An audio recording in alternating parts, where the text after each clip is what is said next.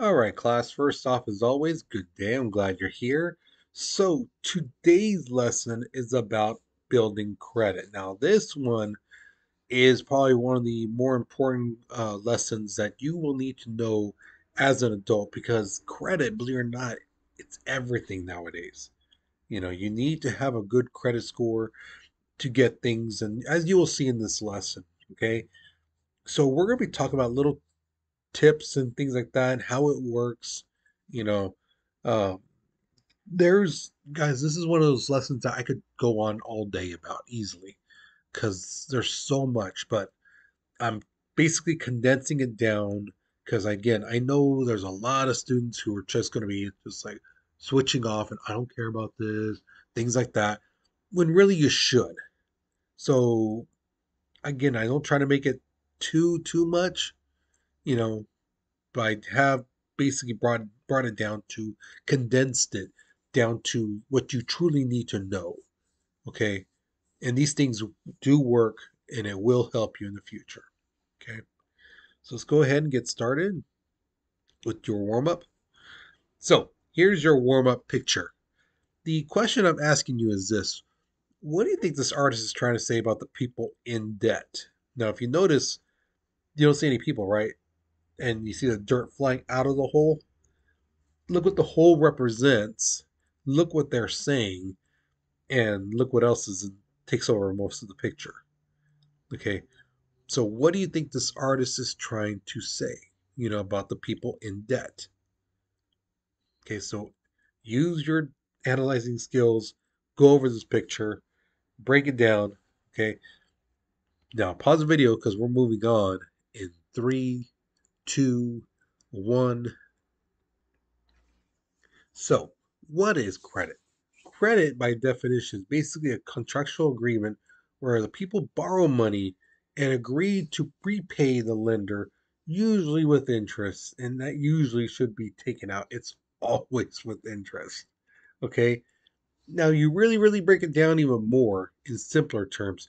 It's a promise and a trust between you and the lender. So, someone who's going to lend you money that you will pay them back plus a little extra. Okay. Now, thing is, I know a lot of people who go, oh man, I don't want to pay extra. I'd rather pay for myself. Okay, I get that. I really, really do. Nobody wants to pay more for something than they have to. No one wants to pay more for this little controller than they have to, you know. But, excuse me. Um, thing is, when it comes to credit, you have to. Okay, that's the key thing, guys. And this is something you'll see me talk about, you know, a little bit later too. You know, when you pay these lenders, these banks, things like that, when you pay them a little bit more in that interest, yeah, that's going to build up your credit, and that's what they want.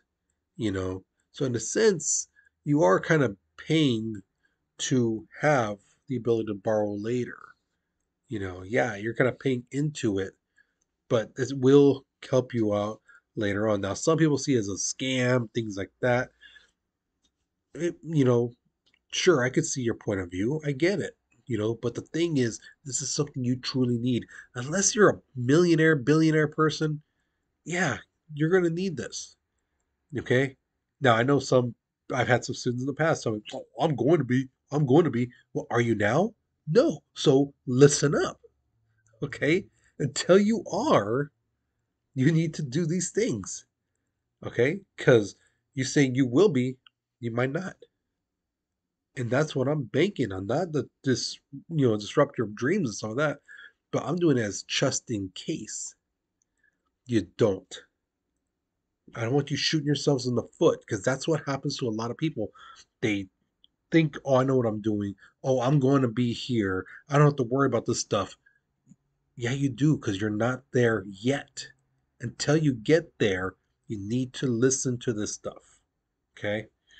Now, what happens is this you will build a line of credit. And the more you pay back and on time, the more in, you'll be allowed to borrow later in the future. Okay? Um, here's a big one, a big one that I've had a former student basically tell me. And they're like, Mr. Martinez, how come my credit score is not high. It's not good. They go, I always pay my stuff on time. I always, you know, you know, pay with my card. And I'm like, wait, wait, wait, Mijo, what do you mean you pay with your card? You know, you, you you pay with your credit card, right? And then you you get your statement and then you pay it off, right? Either you know in the mail or on online or you know things like that, right? No, no, I just give them my card. Like, do you have to put a PIN number? Yeah, that's your problem. You used a debit card, not a credit card. There is a difference. Okay, that was sadly say a true story. You know, there is a difference between a debit card and a credit card. All right. And that's why I put this picture right there. A debit card is di- tied directly to your bank account. So when you go to a grocery store and you buy something and you put your PIN in, da, da, da, that money goes straight from your account to the company, wherever you bought it from. Okay. Uh, and the thing is, credit card don't do that. You know, again, again, they're you're borrowing, and then they're going to send you a statement saying this is how much you owe. Okay. Now, debit cards can be used where credit cards can be used. Okay. The thing is, typically when you use your debit card, you need a PIN number. Okay. And it's honestly, debit cards are good. Don't get me wrong. People, some people try to knock it off saying, oh no, they're horrible. I, I don't have a debit card. Um, they are good for daily uses to help you stay within your budget. Now, so if you remember from my last lesson, I told you guys keep your want money in your wallet so you could see. This is where a lot of people have problem with their debit card because they're like, "Oh, I have enough. I have enough." So they keep spending and spending, and they say no, they have they've used more than they had in their account, and that's where some problems come up. So that's why I tell you guys in that last video, if you haven't watched it, you need to watch it because again, that helps you with managing your money. And then the next step is this with your debit card. You keep a track of where you're spending your money. Now, credit card. It's a line of credit be accessed with your card. Uh, purchases usually require a signature. So sometimes if you see people go to dinner and they pay with their card and they just write their name, boom. Typically they use the credit card. Now, you pay interest if the balance is not paid in 30 days. Okay, so you can pay basically pay straight up what you paid for uh, or what you bought if you pay within that 30 days. Uh, but after that, that's where your interest kicks in for however much it is. You know, because again, as you're gonna find out, everyone's interest rates is different from one another. Okay. Now, why do you need a credit card? What, what possible reason would you need one? Well, a lot of hotels require a credit card, and um, especially car rental places. So if you go on a trip to some place and you want to uh, use a car, you have to have a credit card. They won't take your debit card. Now, here's the thing some banks actually have a two in one card. So basically, it is a debit card and a credit card. But they're kind of about those, okay? Um, so you got to be sure what you have. It's a debit card or it's a credit card. Okay.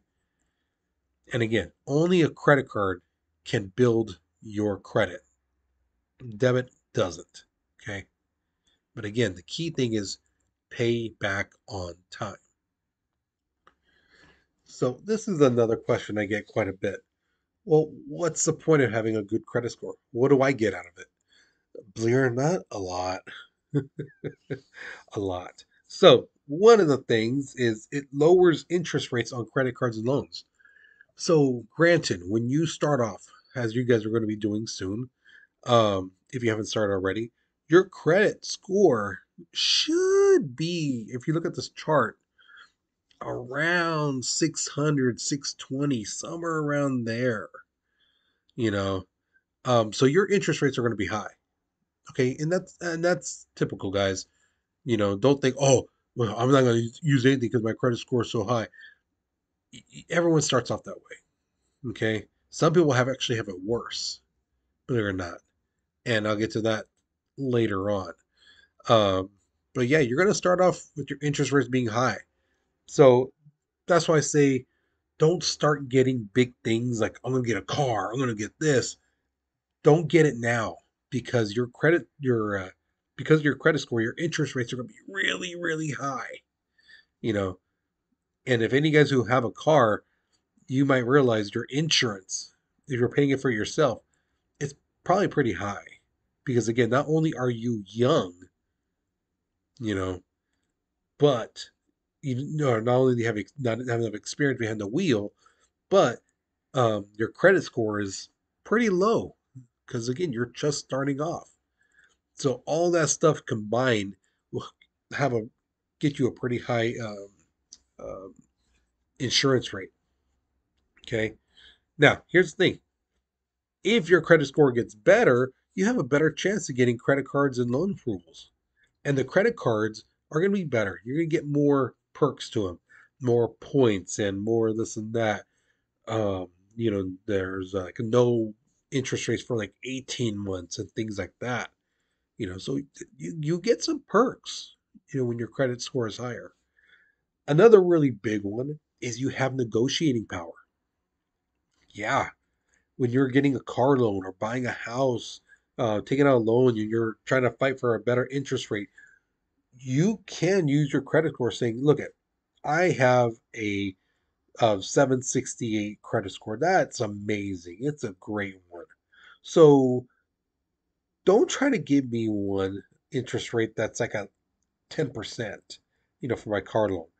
No, no, no, no, no, no. That's way too high. You know, I should be in about the five, six possibly, but nothing higher than that. I no, my credit score. You know, in fact, I'll probably go somewhere else, and those people will definitely be coming back at you because they know they're going to be making money.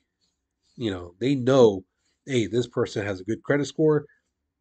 I got to sell them this car, you know, or I got to uh, get them to get this house because those uh, interest rates, you know, things like that, yeah, they're gonna they're good for it, you know. So you get more power.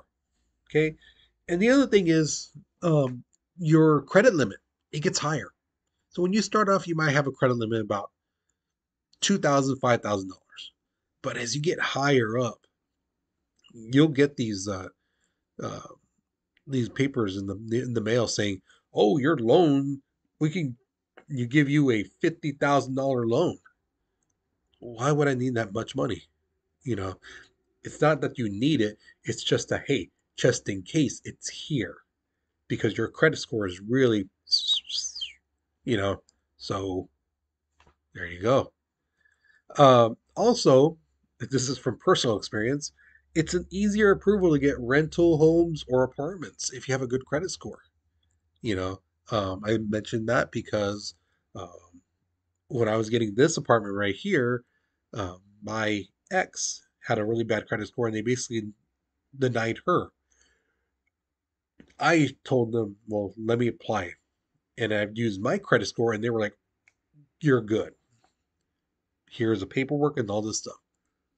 So because my credit score was so good, I got the paperwork right there and then. Whereas for her, they were like, mm, you know, they kind of uh, try to avoid her as much as possible because, again, they know with me, with my credit score being so good, that more likely I got it because I pay back on time. And that's what these uh, property management people and stuff like that, they want somebody who's going to pay the rent on time. You know, they don't have to worry about, oh my God, this and this and that happening. Okay. Uh, better car insurance rate, even your cell phone believe it or not, too. I've, I've heard some stories about this. I haven't done it myself, but uh, I've heard that if you have get a new phone and you do a contract, that you don't have to put a security deposit. You don't put it down if your credit score is good enough. And uh, same thing with this last one. You're to avoid security deposit on utilities. So when you get a new house, new apartment, and they say start up your gas, your electric, you know, we need a deposit. Sometimes you can skip that if you have a good credit score. Now, those last two, I don't know. I've never personally done it, but I've heard it about it. I've read it online. So I don't know if that's a state thing or if that's all around. I don't know how that works. So that one's pretty interesting. Okay. So let me pause the video. Now, here comes the crux of it. How to build your credit score when starting off. Honestly, guys, number one thing you can do buy small things with credit cards. Okay. And pay it off immediately. You know, um, you can pay it off in one payment, two, but I say no more than five. So let's say you buy, um, I don't know, you buy a whole furniture set, you know, for your new place. Try to pay it off in five payments, six payments, maybe max, you know. And like if you're buying jewelry, some type of ring, uh, necklace, or whatever, pay it off in two payments. You know, don't let it get too big, but again, just bam, pay it off completely. Okay. And that will build credit. Okay. Now, here's the other thing, too. This is a trick that I've used and it works, especially when I was starting off. Only buy something if you have at least half the money to pay it back. So if you plan on, I'm going to buy a, a chain, make sure you have at least half the money. So when you go to the store, you pay with your uh, credit card, you get that first statement, boom, you got half the money there. You pay it right there and then, you know. And then when you, by the time the next statement comes in, you should have the other half and pay it off. Boom. Or like, hey, something happens, you could maybe pay a third, and then the next next statement comes, you pay another third, and then the last part, then another third, and there you go. Okay, but make sure you have at least half the money. No, no point of not having any money and then buying something and then now you're struggling to figure out how to pay for that on top of everything else, you know, food and things like that, you know. So have at least half the money ready to go. Another really big one, and I have to emphasize this, is never pay the minimum unless, I mean, and I mean unless you absolutely have to. Okay, because I know, hey, life happens you know, sometimes you've got a job, things like that, things are going well. You just bought something, you know, brand new TV with the credit card, and all of a sudden, hey, um, you lose your job. And you're trying to find another one. You're doing interviews. You're doing this and that. You're going for another interview. You know, so you're basically living off what you save and what you have. You know, so there I could say, yeah, pay the minimum if this 30 bucks, yeah, pay the 30 bucks. You know, sometimes it might be as low as I've seen minimum statements as low as like eight bucks. You know, somebody they told me, just pay, pay us eight bucks. Very tempting, just to go eight dollars, eight dollars. We'll, we'll, but that builds up, which you will see uh, later on in another video. Um, but again, guys, don't make it a habit. Do not make it a habit. If you have to, do it okay? But you want to keep paying them something. But at the same time, you got to watch your own finances as well. So make the minimum payment if you absolutely have to, but don't make it a habit. Okay. And the other really big one I see all the time is this students will get a card and then they'll pay, they'll buy something. They'll say, let's think again, let's use furniture. Okay. And then what they do is they're paying part of it off, you know, doing the steps, and then they buy something else. And then they max it. Guys, when you get buy something, pay it off first before you buy something else. Don't buy don't keep building up on there and then maxing your card because then you're just putting yourself in a bigger hole. And then now the uh, interest rate's going to kick in and it's just going to bury you even more. You know, so don't max out your cards, okay? Pay off things at a time. You know, um, I've had a student in the past basically tell me what they did was had like two or three credit cards, you know, and then, yeah, pay one here. And then this one, they had a better interest rate. So they bought a, something more expensive on that because the interest rate was lower Hey, awesome. That's smart. That's using the old noggin. Okay, so that way though they they can say this card I need to pay this much off in this much time, and this other card I have six months to pay it off without the interest. There you go. Okay. Now, how to build your credit at any time? Again, pay it on time. Pay your bills on time. Yeah, you have a grace period. True.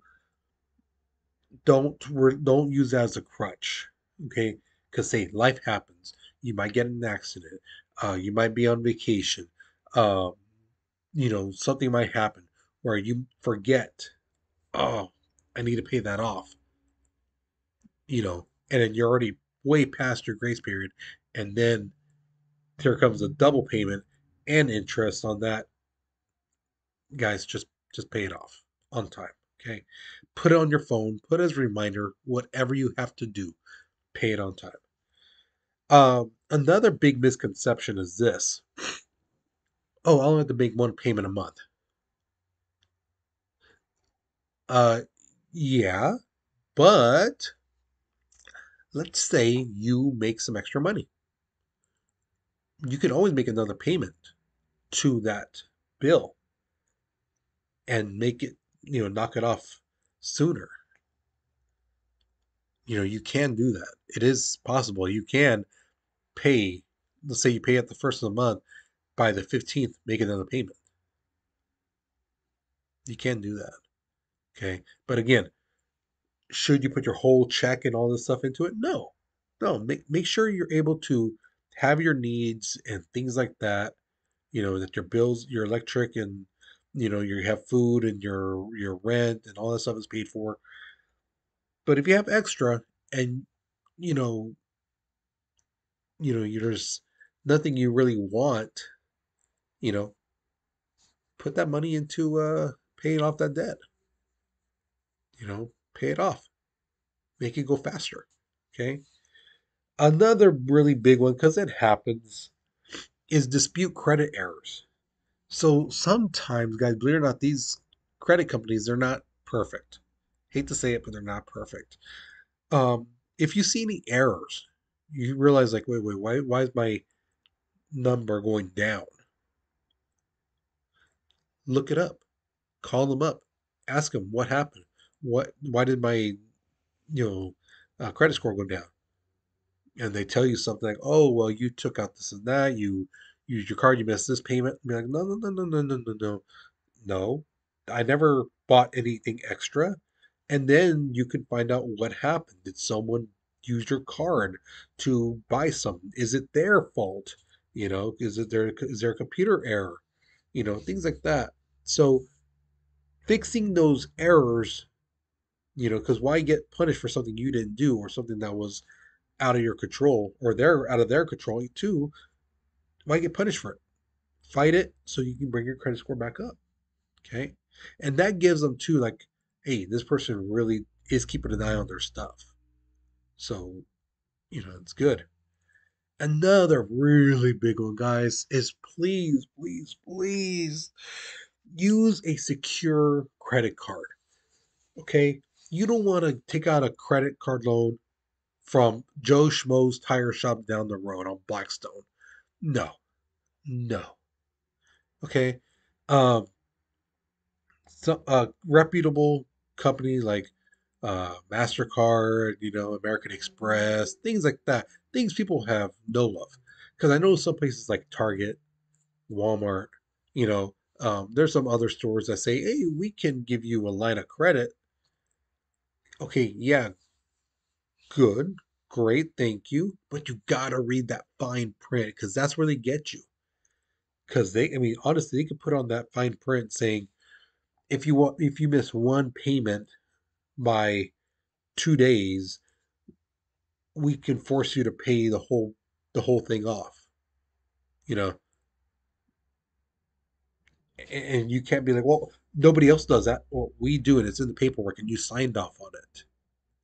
And once you signed off on it, that's that's your you saying you've read it. So going back to those terms and agreements, how you guys are, like, oh, I don't like reading that. Oh, it's so boring. Oh, it's so long. Yeah, because that's what they're hoping that you would do, not read it.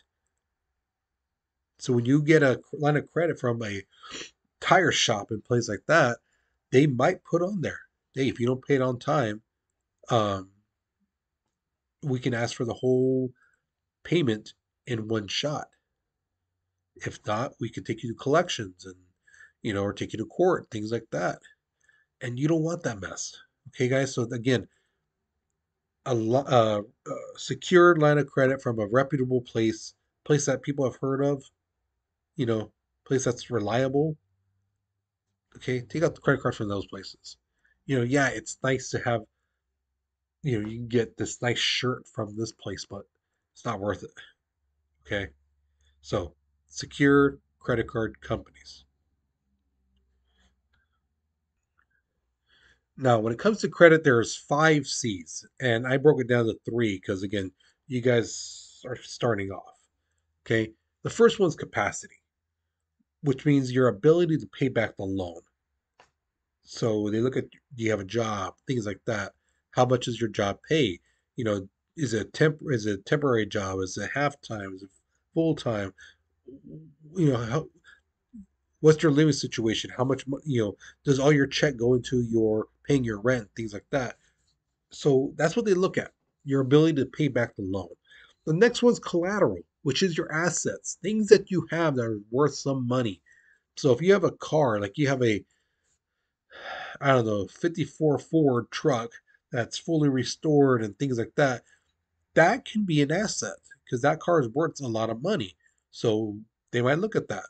And it's basically used as a guide to repay your debt. So they look at your, let's say you have that car and it's worth, I don't know, say 25,000. Let's just throw that number out there.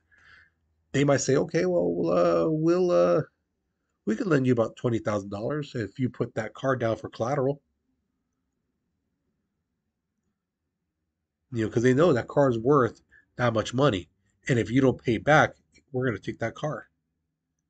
You know, now if you don't have anything worth of value, that's where they go, okay, well, you don't have much collateral, so we really can't let you borrow money because you have nothing worth of value. You have no cars, you have no property, you have no stocks, no bonds.